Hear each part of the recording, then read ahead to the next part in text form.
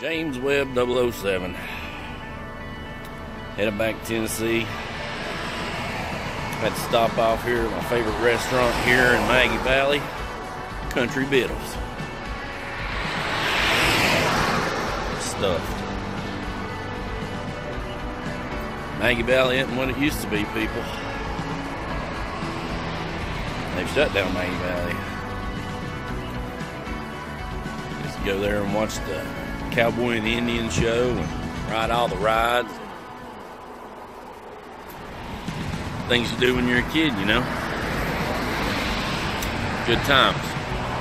And you know what? If you haven't went to Redneck Nation yet and got you some gear, I got everything. I mean, everything. You come back and tell me something they don't have, I guarantee you, I'll show you they got it. So, right there,